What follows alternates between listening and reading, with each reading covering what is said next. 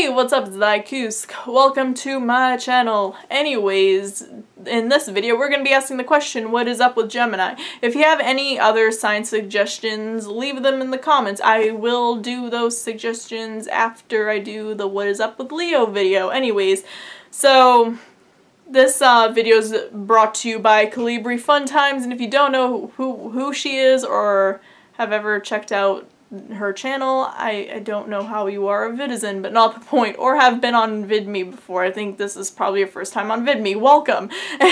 you should check out her channel. Anyways, um, basically, what is up with Gemini? Um, you know, they're, let's see, they're lovely little stereotypes are really centered about memes, okay?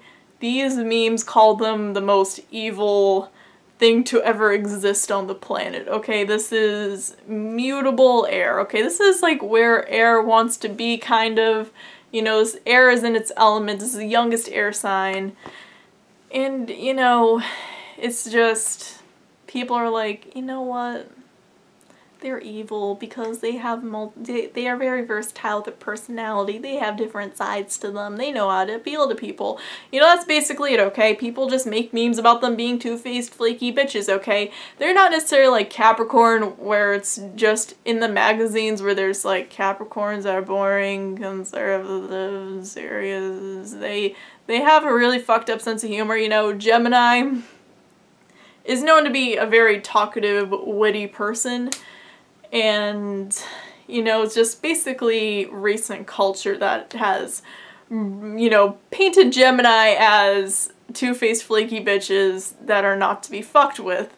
Um basically let, let's get into why alright so with each air sign they like basically an air ascendant usually has an earth IC okay? Gerard Way is a Gemini ascendant but he does not have an earth IC I'm just saying in general okay and obviously not all Geminis have a Gemini ascendant, or not all Gemini dominants have a Gemini ascendant, so keep that in mind. Um, basically, Gemini ascendants usually have an Earth IC, okay? So with Gemini, they have Virgo on the IC, and the IC is the fourth house, and basically the fourth house is your home, what makes you feel comfortable, your childhood, all that fun jazz, okay? That is what the fourth house represents. So you know, fourth house is like your private self, so when a Gemini is technically in private, just as a sign, they are Virgo, okay? They have everything organized in their brain. Sometimes, you know, Gemini moons, they do not have their emotions, like, organized everywhere. J just throwing that out there. You know, not all Geminis are 100% organized, and not all Virgos are too, but you know, Geminis know what they want to say all the time and know how to appeal to people, and that is a part of their Virgo IC, okay? They have themselves composed to basically go out in the world as a Pisces midheaven, okay? So outside they are Pisces. They know how to, you know, respond to any sort of group that they interact with. Alright, Gemini rules over communication, advertising, you know, children, not children, but like, you know, siblings, that's what I meant. So it's, so what I mean is, you know, communication, advertising, siblings, uh, short travel, okay? That is all of Gemini's realm, okay? So when a Gemini ascendant, uh, or just a Gemini in general, um, goes out in the public, they are Pisces, okay? They know how to interact with other people, and know how to, and they get a vibe from each group and they know how to fit that vibe with the personality of theirs. So, you know, they pull out personality A, B, C, or D and just, you know, say, hey, what is up? You know, you're more emotional, I will be, I'll show my more emotional side. If you are more rational, show my more rational side. That is basically how Geminis are in groups, okay? Like I said, they know how to advertise, okay? They rule over advertising. So when it comes to advertising, they know how to make an ad look appealing and, you know, make people want to click on that ad and wonder what the fuck it is. So they know how to, so if they know how to like appeal, appeal to one group, they can appeal to another group and they just, yeah, that's basically it. And, you know, all these groups are different. So how do they appeal to all these groups while all of them are different, you know? they have they do know how to you know tap into each one's mindset and when when those groups kind of come together and notice that they're all cool gemini they're all just like dude Gemini, what are you doing? You're two-faced. You're two-faced. You're two-faced. You're two-faced. You you you agree with them on some things. Like, what do you mean? You know, that's basically the the life of a Gemini. Basically, they appeal to everyone, and then everyone gets together and is just like, dude, I don't like this person. Why do you like them? Like, so basically, that is the main life of a Gemini. And that is the stem of all memes, okay? Gemini, you know, tapping into what a certain group is. And, you know, people are just like, yeah, two-faced, you know, it's just, it's stupid, okay? Geminis do have structure to their personality. They are not like Libra, okay? With, like, obviously Libra has the worst of the worst Capricorn on their IC. And, you know, that you know, Capricorn is kind of changeable for Earth, and even, you know, Virgo is mutable Earth. But, you know, Capricorn just makes you kind of likable in a sense, you know, just like this is how you appeal to people. And sometimes you gotta change, and sometimes you gotta tear yourself down to improve yourself, because, you know, Capricorn, Saturn. And, you know, Libra has that on their IC, so, you know, they know how to tear themselves down and re, in, you know, reinvent, can't talk today, but you know, they know how to reinvent themselves. That, that, that was a word. You know, they know how to reinvent themselves to basically fit everything that a group wants. And they will reinvent themselves again and again and again. And that is basically the life of Libra. And then people, you know, they're, they're probably more all over the place than Gemini. That, that's my opinion though. please, please don't take that to heart. But anyways, basically Gemini does not do this reinvent themselves thing, okay?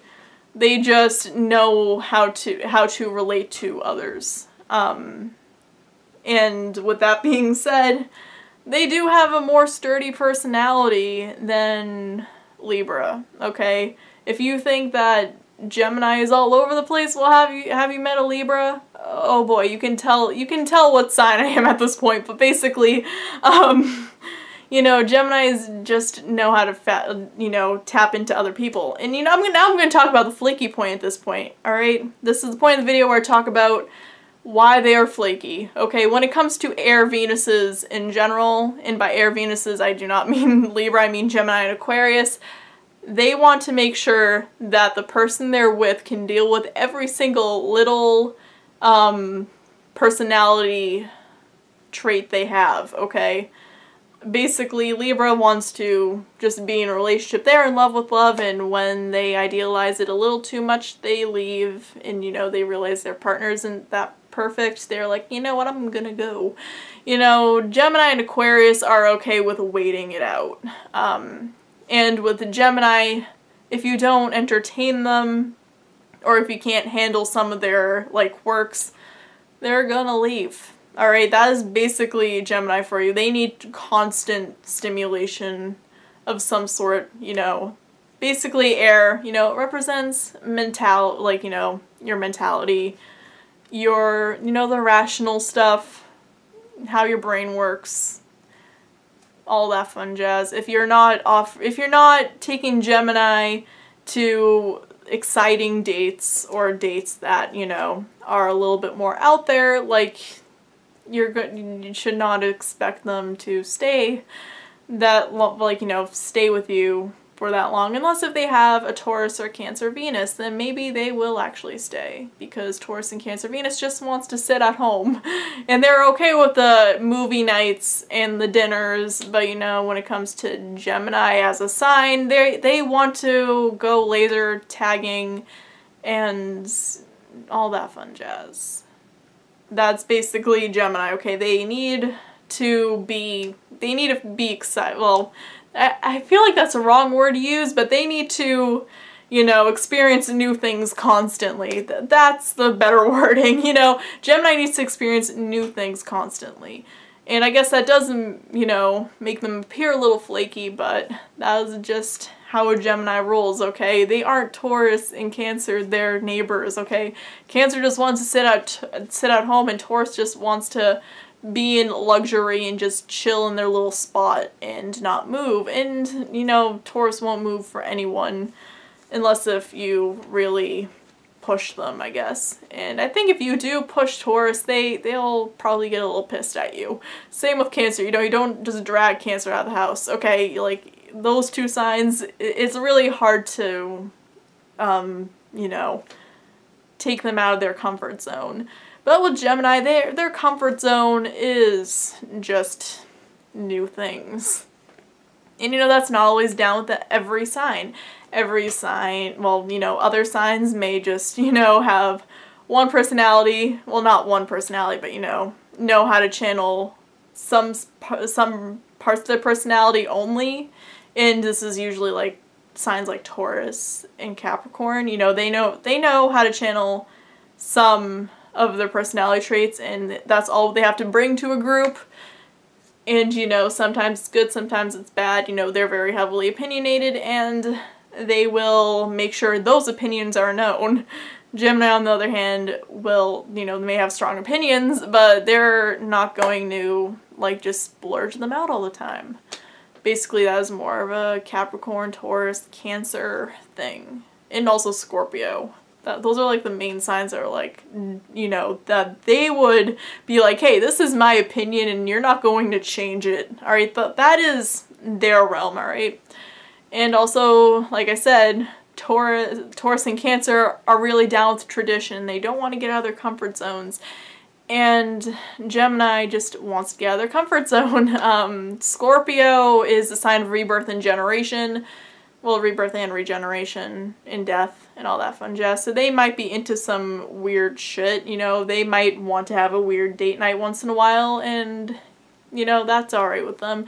Capricorn's down with that too, like when they're free. Um, basically, you know, Capricorn does like their comfort zone, but Cap but Saturn is kicking them out of their comfort zone constantly, so you know, they'll be okay with that fun date once in a while too. So, you know, they're they're, you know, Capricorn Scorpio more um out there than their sisters, but you know, I'm just going to throw that out there. You know, basically, you know, Gemini is not going to appeal to all the signs once they get to know Gemini.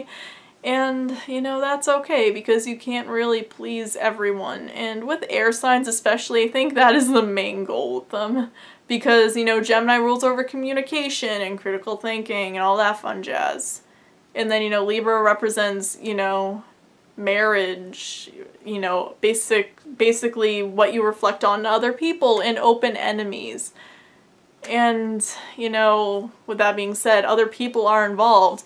And with Aquarius, it, Aquarius represents humanitarianism in groups and, you know, basically bringing water to the people. That is, that is all what the air signs are. You know, they involve another person in front of them or more than more than one person in front of them and how they interact with other people.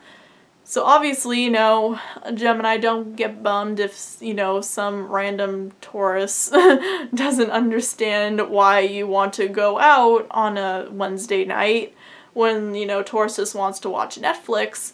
You know, you do you, alright? You, you do you, alright? You know, you're gonna want to sit down and watch Netflix at the end of the, at the end of some other day, and Taurus will probably be there yeah, they probably will be there. I'm not really, I, I wouldn't know the Taurus though. Is up with Gemini? Well, um, they are just people who have more energy than most of the signs basically. They, I think they match their energy levels with Aries. And Aries is like the most youthful sign obviously. And Taurus does have energy in them but not as much as Gemini and Aries. And you know, not a lot of people can catch up to the energy that Gemini has, alright? Or their mental capacity because they just, you know, they're very talkative, like I said, you know, they know what to say, when to say it, and some other signs need to think about what they need to say first before saying things. So when it comes to Gemini, obviously they're they want to always try new things and they're not okay with just sitting at home watching Netflix 24/7 and that's okay, you know, you do you. Um and some signs just want to watch Netflix 24/7. Also, you know, Gemini just they need that entertainment. They need to, you know, channel all their different personality traits and because all of them are pretty well known, okay? They know they need to tap into the psyches of other people and be like, "Hey, what is up? Um, you're like this and yeah, that's pretty alright. I can feel you on that." You know, that is just how Gemini what Gem well, how and what Geminis are built to do basically. I saw a video recently on Facebook where um what's his face? I'm not really sure what his name is actually, but there was a guy um, in the UK, I'm guessing, I could be very wrong, so please don't don't judge me, you know, I could be very wrong, but, you know, he was just walking down the street, you know, asking people, hey, you know, I'm, I'm going, can I guess your zodiac sign? And he got them all right. And, you know, he just, like, went up to people and was like, hey, you're a cancer. By that, I don't mean you're the disease. I mean you're a crab. And you were born sometime in late June to late July. You know, he basically did that, and he did get most of them right, which was wild. But, um, yeah, he just went up to random people and started guessing their signs. And honestly, yeah, I think that is a pretty Gemini thing to do. I thought he was a Scorpio at first or an Aquarius, but you know, that that's basically Gemini for you, okay? Some signs are not going to go up to random people and start talking to them and saying, hey, you're a Leo. I, I know that. You know, so yeah, I think I'd do that, but I don't know, I'm weird. Anyways, yeah, that was my what is up with Gemini video. Comment down below what sign I should do next. Peace out, trees. Love you all sorry for being a mental wreck. You know, Mercury retrograde's going on, and uh, yeah, I've just been out of it recently, so yeah,